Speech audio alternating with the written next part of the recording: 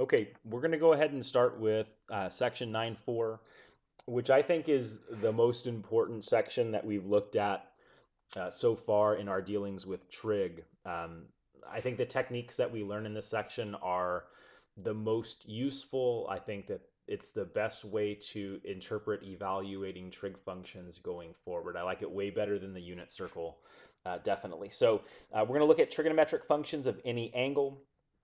And there's a few things that we're going to look at uh, in this lesson. So the first being uh, our definition of trig functions of any angle. Okay, so we're going to let theta be an angle in standard position with the ordered pair x comma y, a point on the terminal side of theta. And then we're going to define r as the square root of x squared plus y squared, and that's going to be uh, greater than zero. So if you think about like what r is measuring, uh, r is measuring the distance in between the point 0 comma 0 and then the point x comma y. Because if you guys remember the distance formula, the distance formula is going to be the square root of the distance between the x coordinates. So that's going to be x minus 0 quantity squared plus the distance between the y coordinates, which is going to be y minus 0 quantity squared. Okay, so you can think of r um, as just being the distance in between those two points. And like if you picture drawing a right triangle like this, this leg here has a length of x, the vertical length or vertical leg has a length of y. Uh, it's kind of similar to what we did with the unit circle. What makes the unit circle definition different is that the r value was always equal to 1. So if you guys remember how we'd like define sine, cosine, and tangent, sine was the y coordinate of our point on the unit circle. Cosine was the x coordinate of the point on the unit circle, and tangent still was y over x. What makes this different is this technique that we're talking about now. Um, we can use this technique where um, the distance between our point and the origin is not one. So it's like a more um, like broad definition, where the unit circle definition was like a more uh, specific definition. So like this definition that we're going to come up with here is the same as the unit circle definition. It's just with the unit circle definition that r values were equal to 1. Okay, so we define sine as y over r, cosine we define as x over r, tangent is y over x, provided that x does not equal 0. And then cosecant, secant, and cotangent are just the reciprocals of sine, cosine, and tangent, respectively. So cosecant is r over y, provided y does not equal 0. Secant is r over x, provided x does not equal 0. And cotangent is x over y, provided that y does not equal 0. Okay, so what we're going to do is we're going to take uh, that definition that we came up with and we want to take a look at the x, y, and r values in each of the four quadrants. Okay, and whenever we have the x, y, and r values in each of the four quadrants, we can figure out what trig functions are going to be positive in each of the four quadrants. Okay, so to go ahead and fill this out, we know r is always going to be greater than 0. So we're going to make the r value greater than 0 in each of the four quadrants. When we think about points that lie in quadrant one, so if a point lies in quadrant one, both the x and y coordinates of that point have to be greater than zero. If our point lies in quadrant two, the x coordinate of the point is negative, the y coordinate of the point is positive.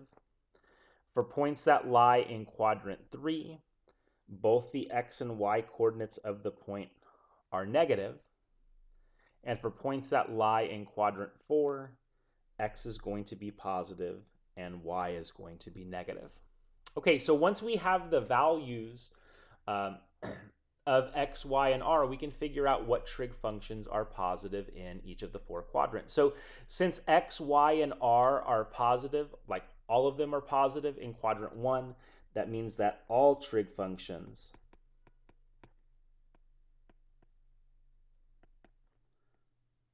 are positive.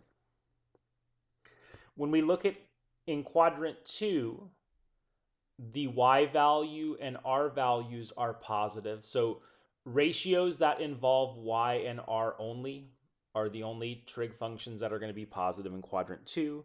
So that is going to be sine and its reciprocal cosecant are positive in quadrant two. When we look at points that lie in quadrant three, the R value is the only one that's positive. But if we have ratios that deal with Y and X only, if we take a negative divided by a negative, that's going to be positive. So our only ratios that deal with X and Y are tangent and its reciprocal cotangent. So tangent and cotangent are positive. And when we look at points that lie in quadrant four, the x value and r value are positive. So the ratios that deal with x and r only are going to be positive, which are going to be cosine and its reciprocal secant are positive. Okay, so we actually have like a little phrase that we use in math to help us remember what trig functions are positive in each of the four quadrants. And that phrase is all students take calculus. So in quadrant one, all of the trig functions are positive. In quadrant two, student starts with the letter S, as does sine. So sine and cosecant are positive. Take starts with the letter T, as does tangent. So tangent and cotangent are positive in quadrant three, and calculus starts with the letter C, as does cosine. So cosine and its reciprocal secant are positive in quadrant four. So you want to remember that that that saying, that phrase. That's going to help you uh, as we continue moving through today's lesson. Okay, so let's get into some examples uh, involving what we just discussed. So directions say to let uh, the ordered pair negative 2, 3 be a point on the terminal side of angle theta. And then we're asked to find the sine of theta, the cosine of theta, and the tangent of theta. Okay, so here's our point, negative 2, 3. For us to figure out sine, cosine, and tangent, the one piece of the puzzle that we're missing is the value of r. So to find the value of r, um, you we can plug into that formula where r is equal to the square root of the x coordinate squared, which is negative 2 squared, plus the y coordinate squared, which is 3 squared. Or another way for you to think of that is r is going to be the distance between the origin, which is the point 0, 0, and then the point on the terminal side, which is negative 2, 3. And then you can use the distance formula to figure out uh, what the length of r is. Okay, so when we calculate r, uh, r is going to be the square root of negative 2 squared, which is 4, plus 3 squared, which is 9, which makes r equal to rad 13. okay, so let's figure out sine, cosine, and tangent.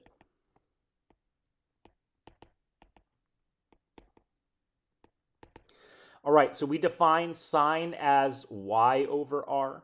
So the y coordinate of our point is 3 over the r value, which is rad 13 which rationalizes to 3 rad 13 over 13. Cosine is x over r, so that's negative 2 over rad 13, which rationalizes to negative 2 rad 13 over 13. And then tangent is y over x, which is 3 over negative 2, which becomes negative 3 halves. Now, kind of a, a, quick way for you to check to make sure that you set these ratios up properly is if we think about what quadrant the ordered pair negative 2, 3 lies in, I'm just going to do like a quick little sketch.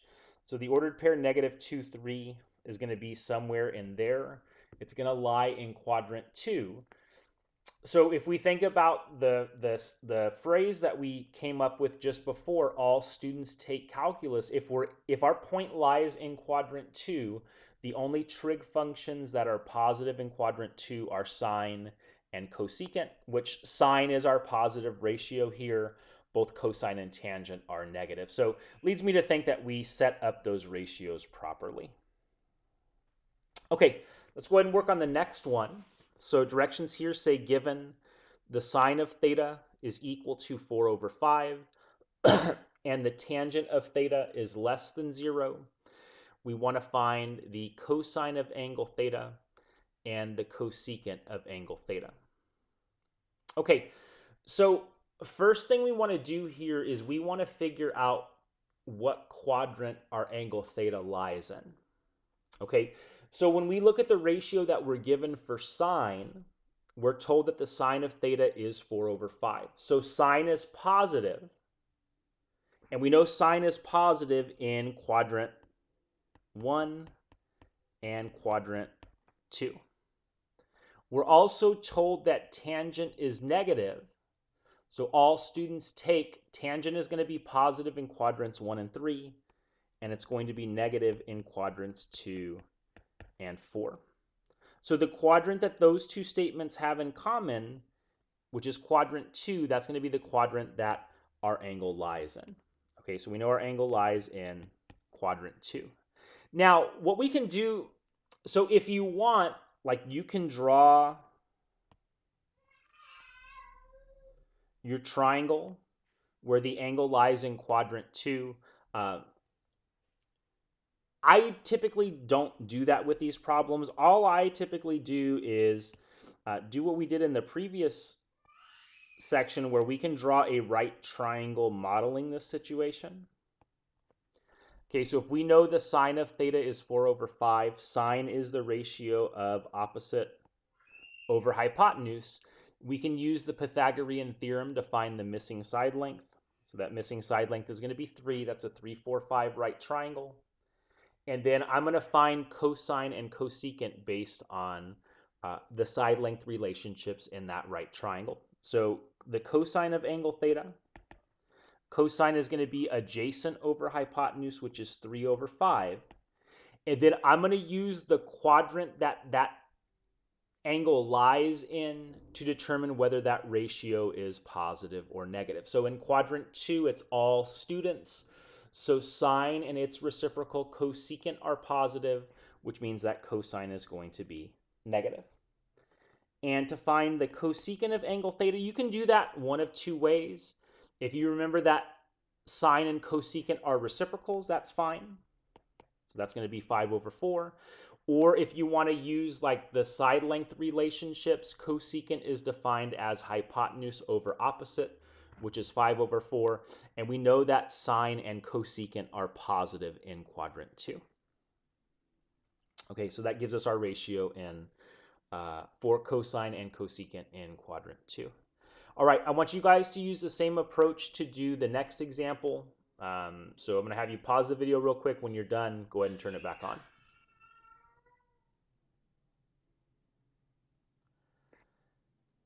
Okay, so let's take a look at this one. Um, so first piece of information we want to determine is what quadrant the angle lies in. So this angle here, if cosine is negative, we know cosine is negative in quadrants 2 and quadrant 3. And if sine is negative, we know sine is negative in quadrants 3 and quadrant 4.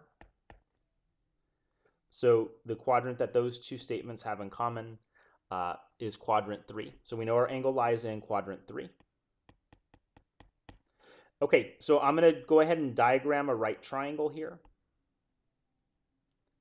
If you want to draw the right triangle in quadrant 3, that's fine. I just don't do that for these examples. So uh, we know cosine is negative 12 over 13. So if we're drawing the right triangle, we know the side lengths in a triangle have to be positive. So cosine is adjacent, which is going to make that side length 12 over hypotenuse, which makes the hypotenuse 13. Uh, and this is another special right triangle, a 5, 12, 13 right triangle. Uh, so once we have that, we can figure out secant, and tangent. Again, you have a couple of options for figuring out secant. If you know that secant and cosine are reciprocals, then that's going to make the secant negative 13 over 12. If you don't want to do it that way, you can say that secant is hypotenuse over adjacent, which is positive 13 over 12. And then we know secant is going to be negative in quadrant 3. So that makes that ratio negative 13 over 12. Uh, tangent is going to be opposite over adjacent, which is 5 over 12. And in quadrant 3, all students take. So take starts with t, as does tangent. So tangent has to be positive in quadrant 3. All right, we'll continue this video in the next lesson.